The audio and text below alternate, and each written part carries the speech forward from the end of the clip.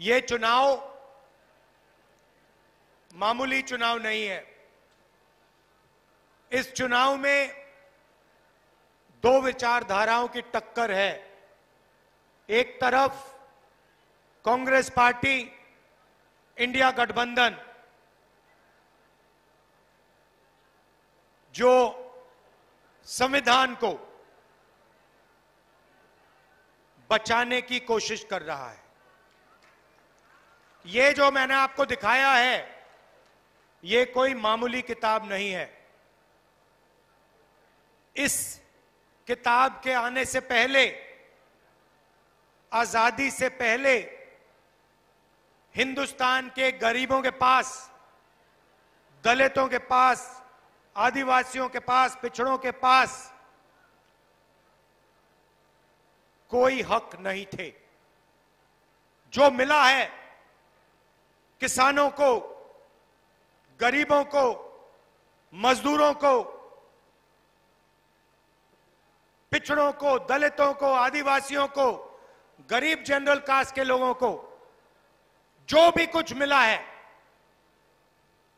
इस किताब के कारण मिला है। और अब प्रधानमंत्री ने,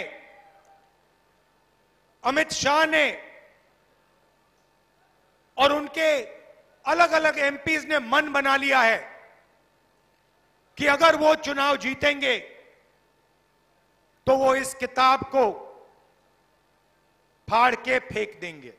लड़ाई ये है, भाइयों और बहनों। और मैं आपको यह कहने आया हूँ कि जो भी देश में प्रगति हुई है, जो भी गरीबों को मिला है, चाहे वो मनरेगा हो ज़मीन अधिकरण बिल हो, सफ़ेद क्रांति हो, ज़मीन का हक हो, सब गायब हो जाएगा। बीजेपी चाहती है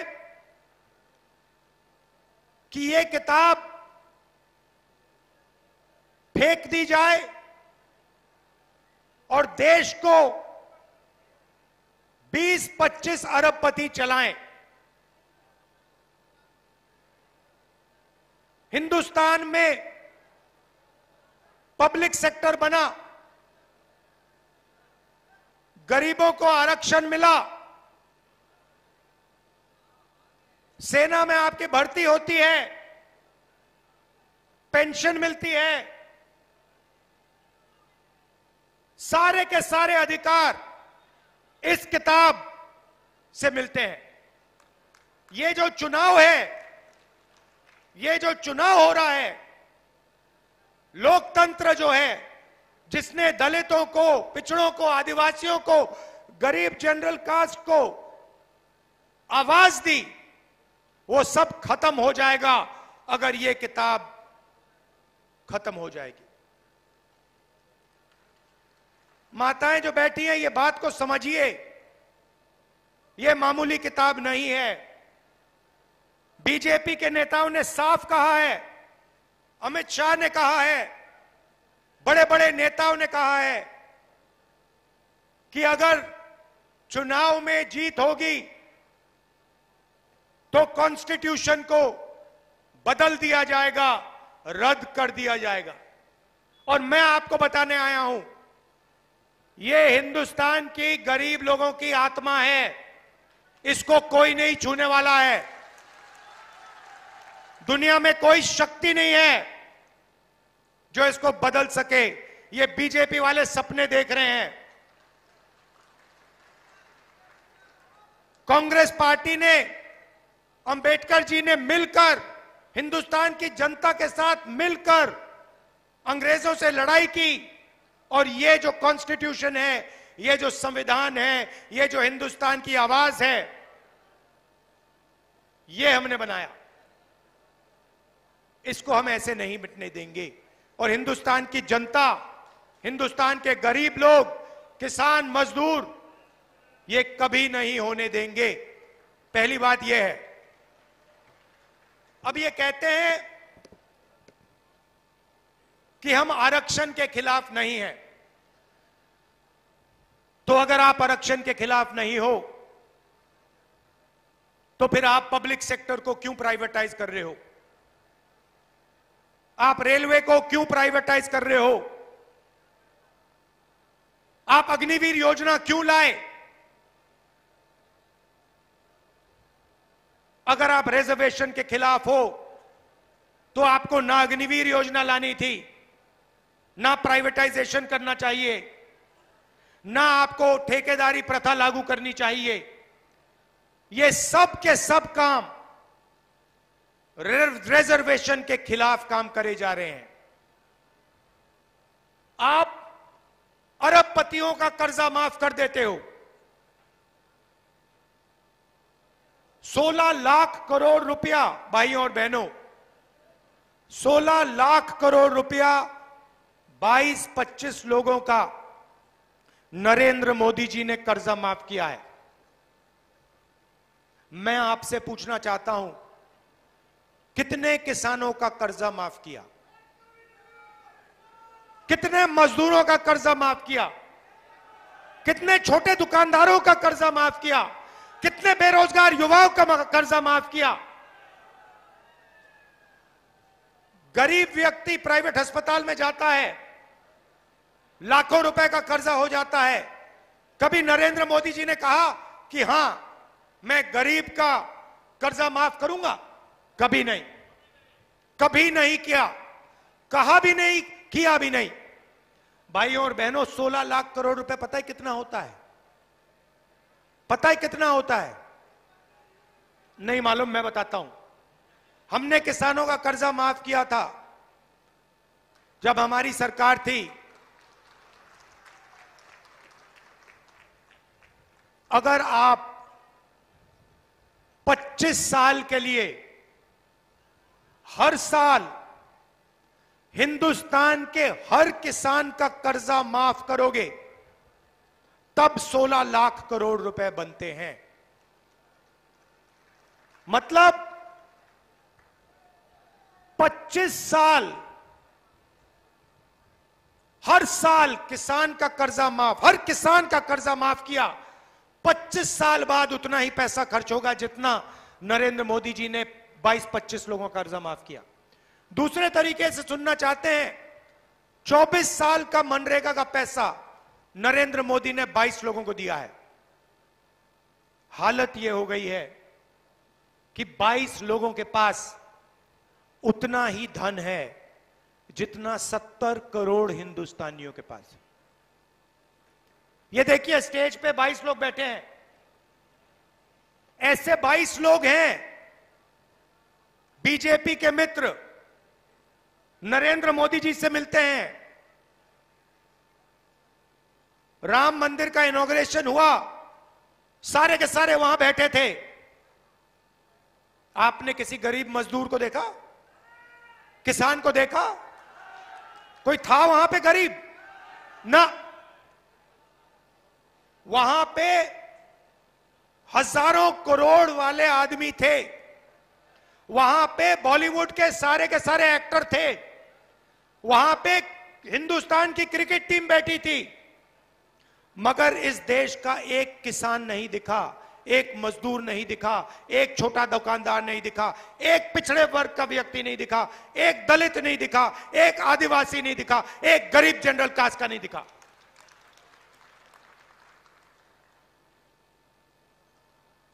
पार्लियामेंट हाउस का इनोग्रेशन होता है, नई बिल्डिंग चमकती हुई बिल्डिंग बनती है। हज़ारों करोड़ रुपए की बिल्डिंग बनती है। आदिवासी राष्ट्रपति को बुलाया ही नहीं जाता। उनसे कहा जाता है, ना तुम पार्लियामेंट के इनोग्रेशन में आओगे और ना तुम राम मंदिर के इनोग्रेशन में आओगे। राम मंदिर और पार्लियामेंट हाउस को नरेंद्र मोदी जी खोलेंगे। कोई आदिवासी का, दलित का, पिछड़े वर्ग का किसी का चेहरा नहीं दिखना चाहिए। सिर्फ़ नरेंद्र मोदी जी का चेहरा दिखना चाहिए। और ये भाई और बहनों, हुआ।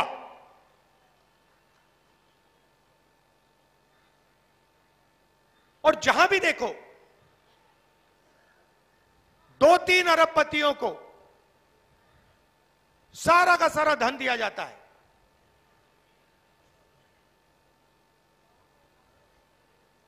रेलवेज देखो, अदानी। सोलर पावर देखो, अदानी। बिजली देखो, अदानी। सड़क देखो, अदानी। हथियार देखो, अदानी।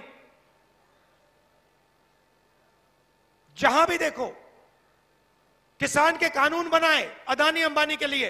हिंदुस्तान का हर एक किसान जानता है कि हमारे जेब से पैसा निकालने की कोशिश हो रही है। सारे के सारे खड़े हो गए। नरेंद्र मोदी जी क्या कहते हैं? आतंकवादी हैं। आतंकवादी हैं जो देश को भोजन दे रहे हैं। 24 घंटा खून पसीना देते हैं। वो आतंकवादी हैं।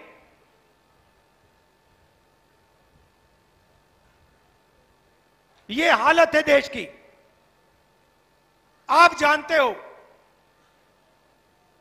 नोटबंदी की गलत जीएसटी लागू की। आज हिंदुस्तान में 45 साल से सबसे ज़्यादा बेरोजगारी है। हर हिंदुस्तानी युवा यह बात समझता है, जानता है।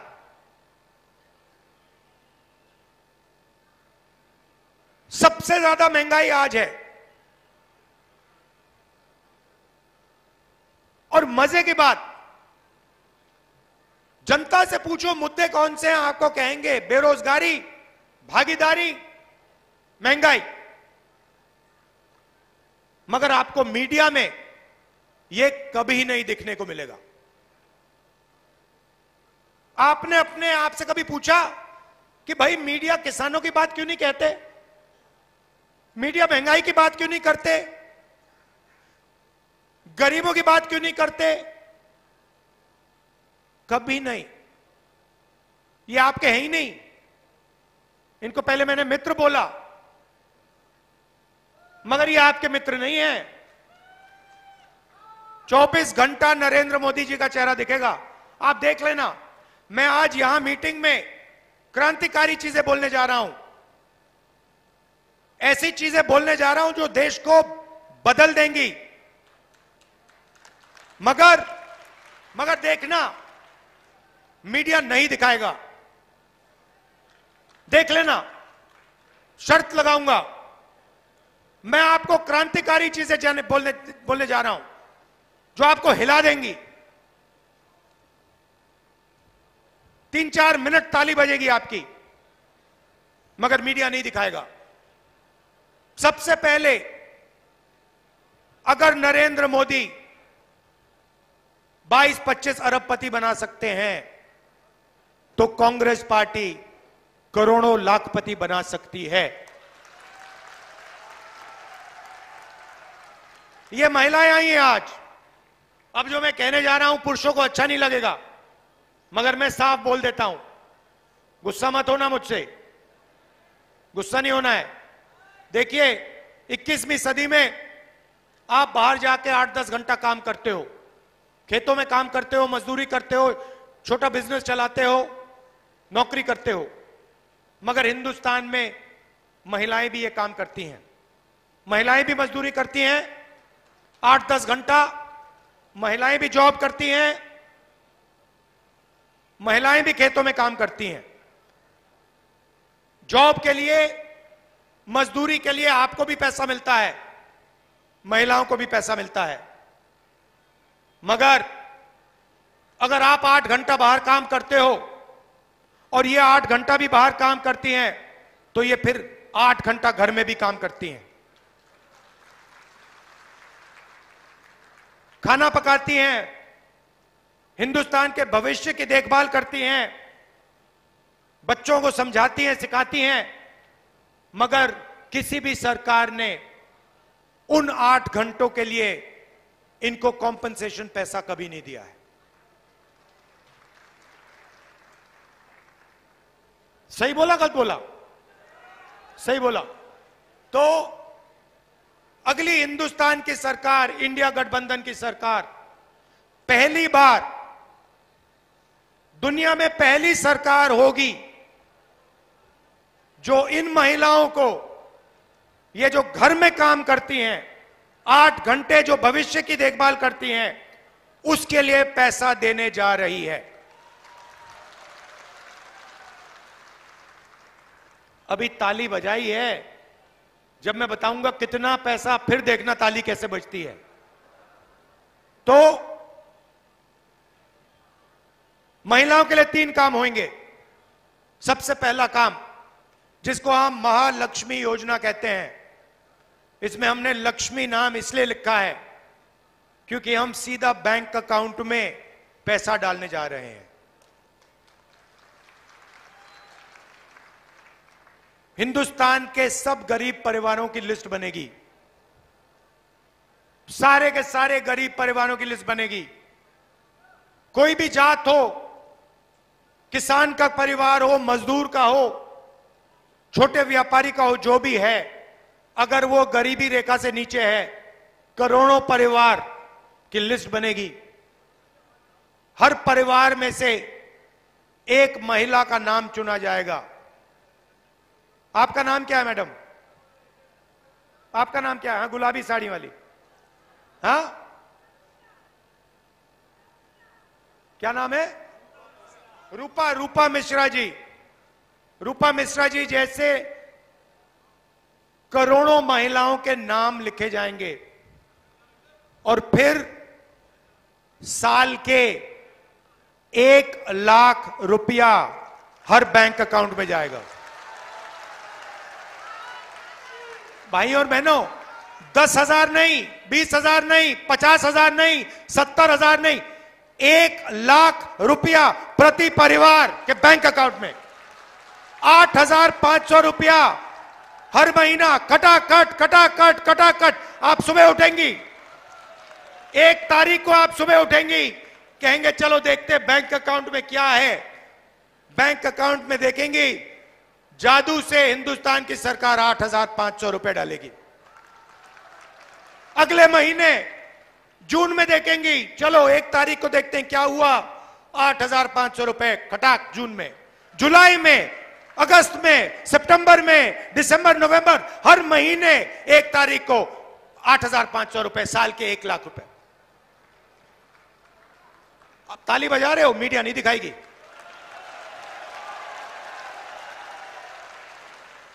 हमने मनरेगा किया। मीडिया का हर पत्रकार कहता है, देखो, गरीबों की आदत बिगाड़ रहे हैं। मजदूरी के लिए पैसा दे रहे हैं और कहते हैं, गरीबों की आदत बिगाड़ रहे हैं। अदानी को बिना मजदूरी, बिना कुछ लाखों करोड़ रुपए देते हैं तो कहते हैं, देखो देखो देखो, विकास हो रहा है। गरीबों को पैसा दो तो आदत बिगाड़ रहे हो। और अरबपतियों को पैसा दो तो देखो विकास हो रहा है। तो हमने मन बना लिया है। दस रुपए उनको मिलेंगे तो दस रुपए आपको मिलेंगे। लाख रुपए उनको मिलेंगे तो लाख रुपए आपको मिलेंगे। करोड़ रुपए मिलेंगे तो करोड़ रुपए मिलेंगे। हज़ार करोड़ मिलेंगे तो हज़ार करोड़ मिलेंगे।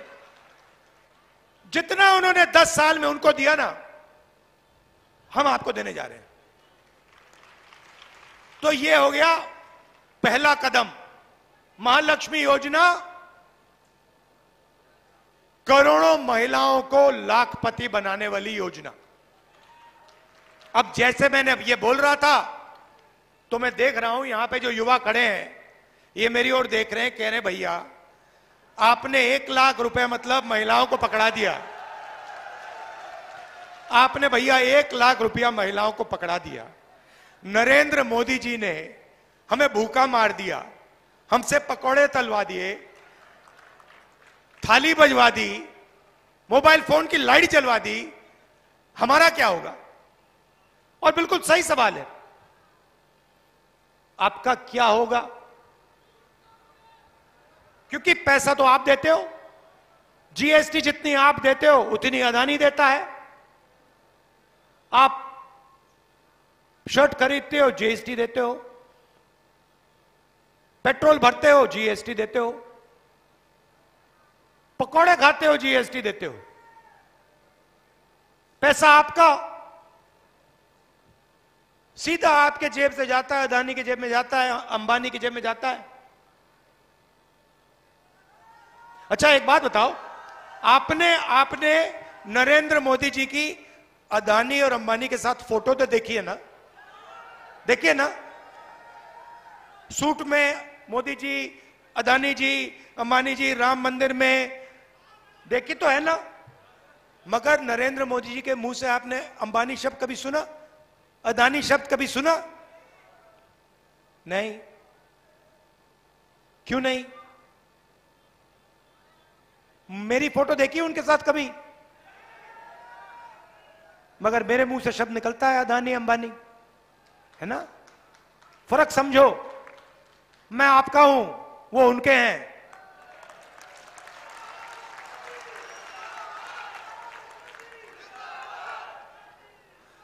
तो अब युवाओं को बेरोजगार कर दिया, पकौड़े बनवा दिए, और इस मीटिंग में युवा मेरी ओर देख रहे हैं, कह रहे भैया, ये एक लाख रुपए हमारी बहनों को दे रहा है, माताओं को दे रहा है, हमारा क्या होगा? अब मैं वो आपको बताता हूँ, क्या होगा? अरब पतियों के बेटे अपनी कंपनी में, अपने पिता के कंपनी में जाकर अप्रेंटिसशिप करते हैं, छह महीने की नौकरी करते हैं, एक साल की नौकरी करते हैं अच्छा खासा पैसा मिलता है ट्रेनिंग होती है। उसके बाद उसके बाद उनको परमानेंट नौकरी मिलती है। तो एक प्रकार से जब अदानी या अंबानी अपने बेटे को जॉब मार्केट में डालना चाहता है तो उसका तरीका अप्रेंटिसशिप होती है।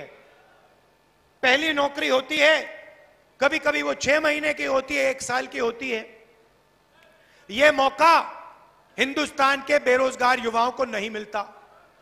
आप भटकते रहते हो आगे पीछे सड़कों पे। तो अब इंडिया की सरकार दुनिया की पहली सरकार होगी। सुनो, दुनिया की पहली सरकार होगी जो हर ग्रेजुएट को, हर डिप्लोमा होल्डर को अप्रेंटिसशिप का अधिकार देने जा रही है।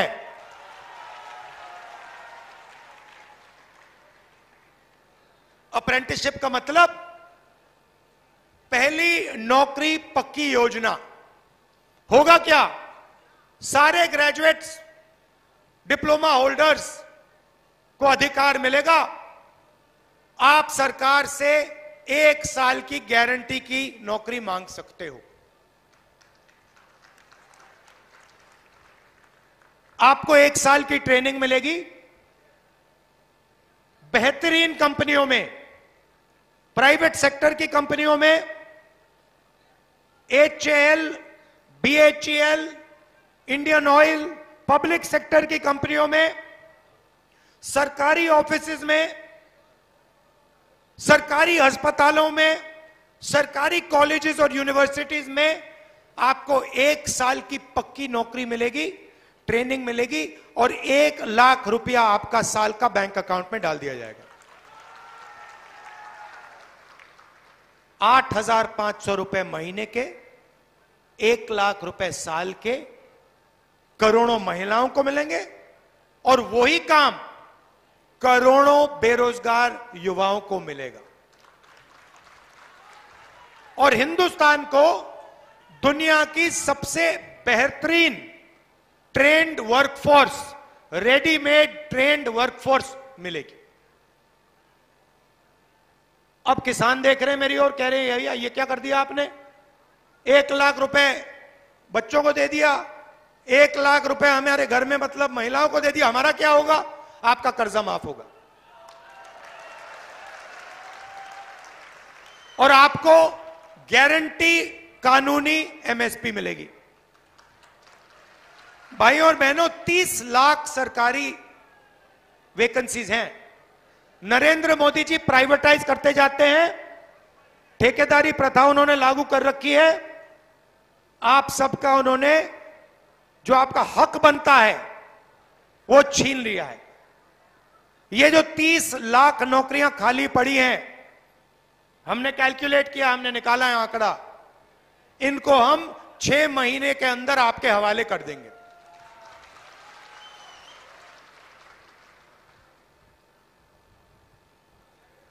रही बात अग्निवीर की।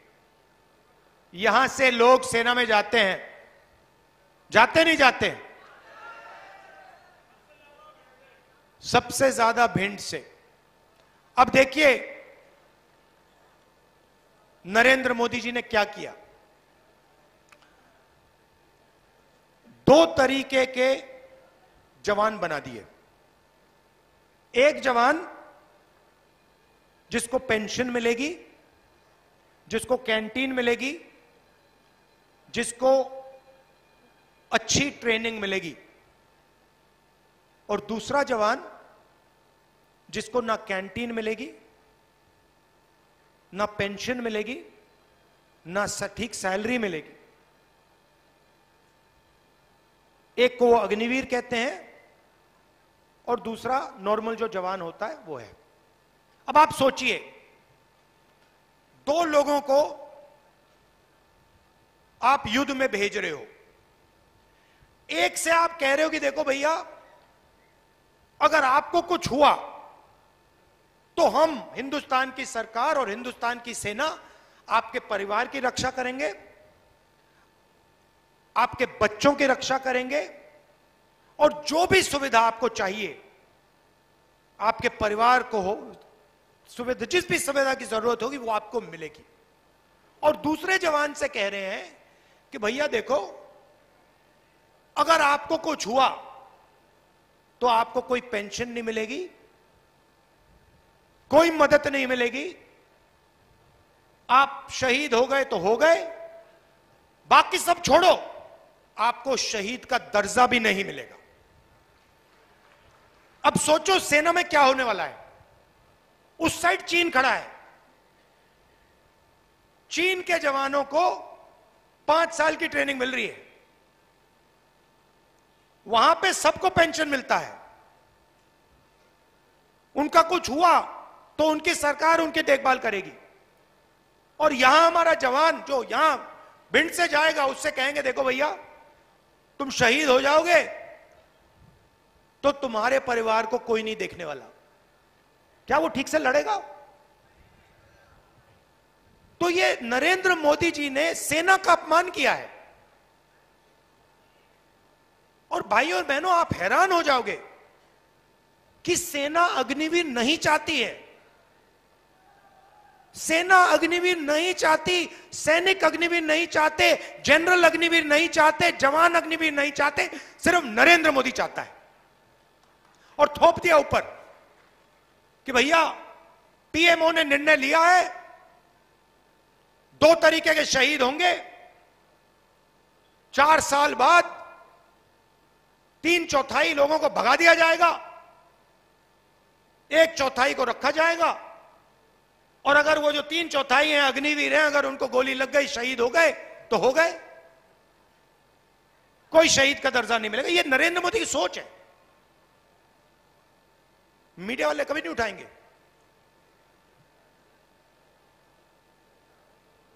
ये कोविड में थाली बजाने की बात करेंगे। मगर ये जो मैं आपको कह रहा हूँ, ये कभी नहीं उठाएँगे। आप जानते हो, कहने की ज़रूरत भी नहीं है।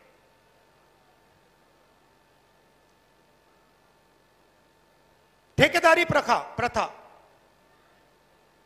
अगर आप पिछड़ों को देखो, दलितों को देखो, आदिवासियों को देखो, गरीब जनरल कास्ट को देखो बड़ी बड़ी कंपनियों में आपको ये लोग नहीं दिखेंगे।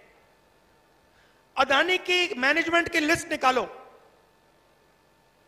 मुझे एक एक गरीब जनरल कास्ट का दिखा दो उसमें। एक दलित, एक आदिवासी, एक पिछड़ा, मुझे एक नाम दे दो। मान जाऊँगा। है ही नहीं। वही दो तीन परसेंट लोग हैं। एक परसेंट लोगों के पास हिंदुस्तान का चालीस परसेंट धन है। वही लोग हैं, एक परसेंट। उनके पास सब कुछ।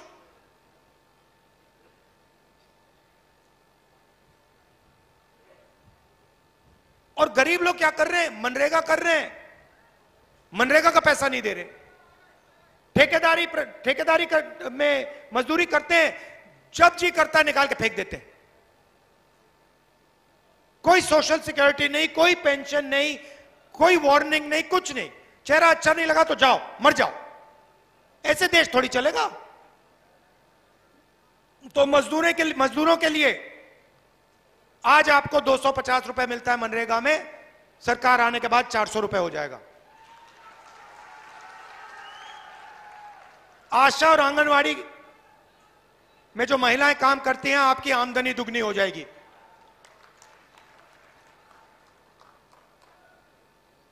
और ये जो ठेकेदारी प्रथा है, पब्लिक सेक्टर में, सरकारी ऑफ़िस में, जहाँ किसी को भी एक दिन में निकाल के बाहर फेंक सकते हो इसको हम खत्म करने जा रहे हैं। अगर नौकरी मिलेगी, सरकार में पब्लिक सेक्टर में मिलेगी तो इज़्ज़त के साथ मिलेगी पेंशन के साथ मिलेगी रिस्पेक्ट के साथ मिलेगी। तो ये हम आपके लिए करने जा रहे हैं। देखिए मेन मुद्दा इसका है। इसको बचाना है। इसकी रक्षा करना है। ये ये हिंदुस्तान की आत्मा है। और बीजेपी के लोग नरेंद्र मोदी इस, इसका गला घोटने की कोशिश कर रहे हैं। ये हम कभी नहीं होने देंगे। आप सब आए, मुझे बहुत अच्छा लगा। इतने प्यार से आपने मेरी बात सुनी। दिल से आपका धन्यवाद करता हूँ। नमस्कार, जय हिंद।